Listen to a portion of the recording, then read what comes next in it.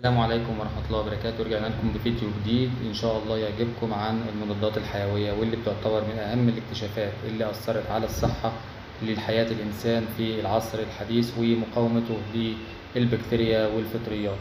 ومن أهم المميزات اللي بيبحث عنها الطبيب في المضاد الحيوي اللي يقدر يديه للمريض بتاعه أو اللي هيقاوم بيه البكتيريا أو الفطريات من المميزات اللي دايما بيبحث عنها الطبيب أثناء اختياره للمضاد الحيوي انه يكون واسع المجال إن هو يكون بيأثر على أنواع مختلفة من البكتيريا. رقم اتنين إن يكون له آه، آثار جانبية قليلة يعني أو لا تكاد تكون له آثار جانبية نهائيا. أن يكون غير سام أن يكون المضادات الحيوية دي غير سام. كمان أن تكون المضادات الحيوية دي ذات تأثير على البكتيريا الممرضة وليس العائل.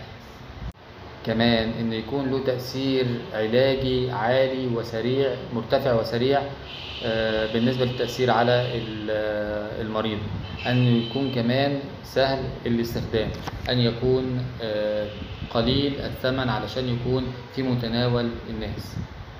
استخدام المضادات الحيوية في حالة الإصابة بفيروس الأنفلونزا آم، لن يجدي لن يؤثر على الفيروس مش المضادات الحيوية ما بتأثرش على الفيروس ولكن هناك بعض الأطباء اللي بتصف المضادات الحيوية علشان تقلل من التأثيرات الجانبية للفيروس علشان آه، الإصابة الثانوية بالبكتيريا لأن البكتيريا بتنتهز الضعف المناعي اللي بيكون موجود في جسم الإنسان أوقات وجود فيروس الانفلونزا وبتبدا تهاجم الإنسان فعشان كده المضاد الحيوي بي آه، بيحارب الإصابة الثانويه للبكتيريا.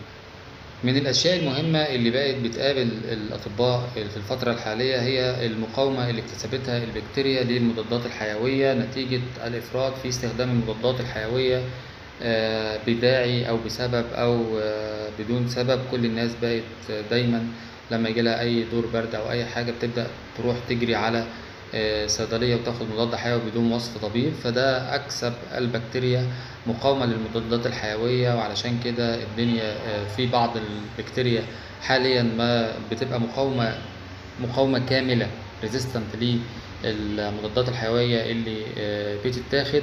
وعلشان كده في دايما تطوير للمضادات الحيوية وعمل آه، mix بين المضادات الحيوية علشان تبقى أقوى وذات تأثير أعلى على آه، البكتيريا إن شاء الله يا رب تكونوا آه، استمعتم للفيديو واستفدتم آه، ولو معلومة صغيرة.